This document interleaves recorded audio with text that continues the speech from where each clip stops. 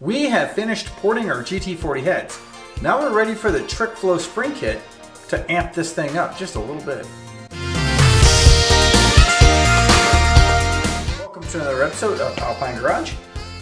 We are putting in uh, Trick Flow springs. This kit is made for GT40 heads where you're not going to be cutting the spring seat to put in like a double spring. This one is a beefier spring than stock and it, it's not necessarily a true double spring but you can see that it's a spring inside of maybe like a, a flat spring steel spring that's on the inside there. So it, it is almost like a double spring. It's not a true double spring. It gives you more than a stock spring will give you uh, but probably less than a true double spring if you were going to cut seats. We're going to be doing this plain and simple because I wanted to port these heads to see what kind of power we can get out of them. And then at some point I'll upgrade the heads altogether to an aluminum head. Don't want to put a ton of money into these heads for that reason. Now that we have lapped these valves, and I didn't do a video on the valve lapping, but it's but it's a very easy process. I just went and got this valve lapping compound from Permatex. Put it on three parts of the valve slid it in there, and then used a valve lapping tool like this, and then just did like a one, two, three, spin a quarter, one, two, three, spin a quarter, one, two, three, and then picked it up just a little bit and then put it back down to kind of get it to re-engage the grit, and then one, two, three, spin it a quarter, and it took a while. Anyway, I didn't want to film that, so that's where I'm at. Then I went ahead and just cleaned them up with some acetone to get all the grit off of them. Dipped them in a little bit of oil.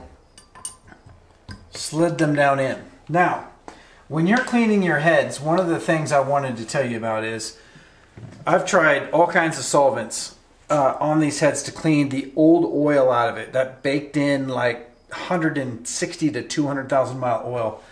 What actually worked was wheel and tire cleaner. Wheel and tire cleaner literally ate all of it off, whereas my solvent in my parts cleaner didn't even touch it. So try this. This stuff works really well.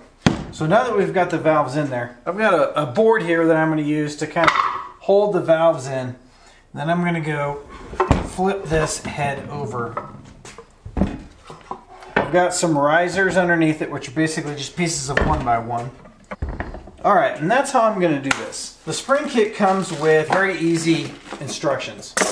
Now I'm using the stock valves in this, so just do keep that in mind. You've got your exhaust retainers in a clear bag. You got the intake retainers in a blue bag. You've got valve seals, keepers, and springs. Now on top of that, you also have shims. And then you have your 1.8 inch height gauge. It's just a little piece of rolled steel here that they have that's 1.8 inches. And it's really easy. You slide your shims on, put your retainer on, check your height. Super easy. You can pull shims out as you go. This whole process didn't take me very much time. And based on the, I already did one head to kind of gauge it. What I realized was that I didn't need any extra shims on the exhaust.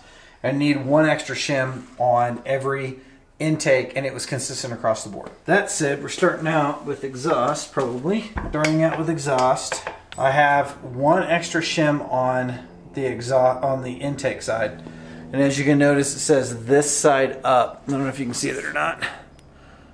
This side up right there. So you're gonna put that side up, make it real super easy.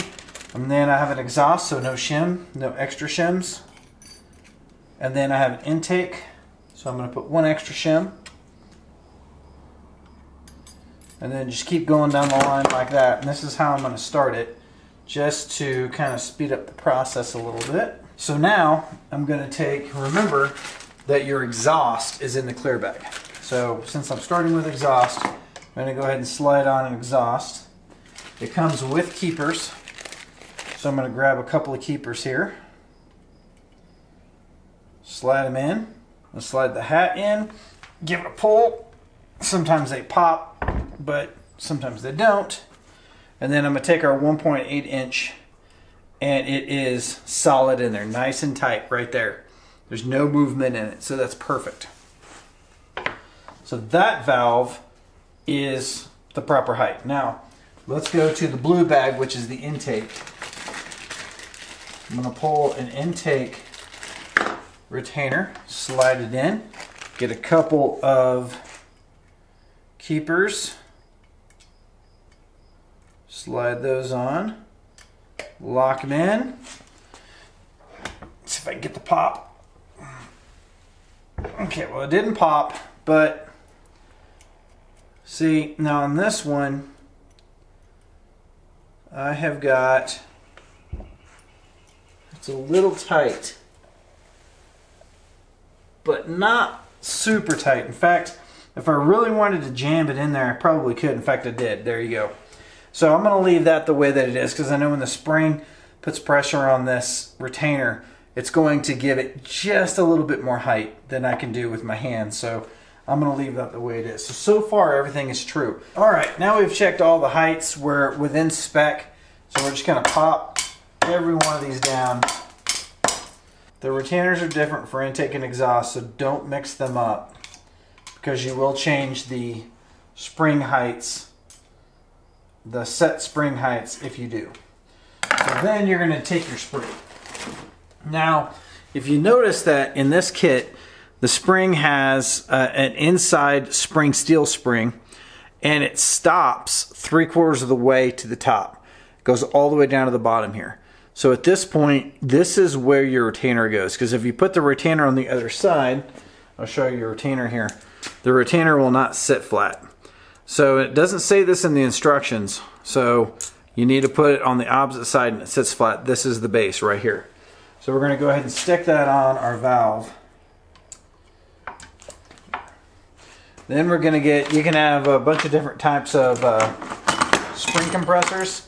I've got just the basic standard spring compressor here. And this one works just fine. I got this, I think, at O'Reilly's or something. So just like that, it'll lock in.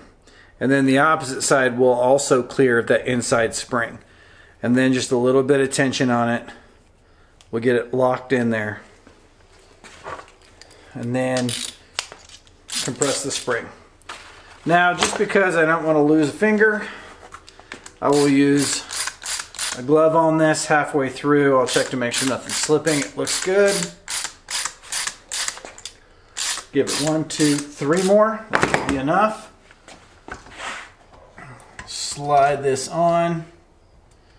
I'm going to put one of the keepers in one side. And then I'm going to move the spring up to get it in set in place. Get that keeper set in place. They like to be, they want to fall, there we go. Ah, there we go. Well, they want to fall all the way to the bottom there. And then I'm going to slide the other keeper in. And with just a little bit of play, just to play with it, it'll slide into place just like that. So that slid right in. Now I'm to pull it all the way up to hold the keepers in place. And then take the tension off.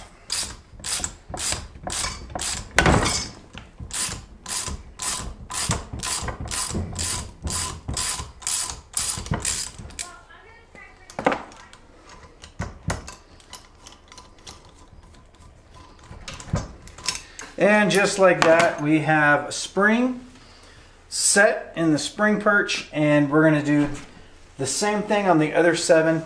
As you can see, this goes pretty fast once you get used to it, and uh, we're just gonna knock it out. All right, and just like that, we've got all 16 valves in. Uh, we've got all 16 springs in as well. Uh, we've ported the heads.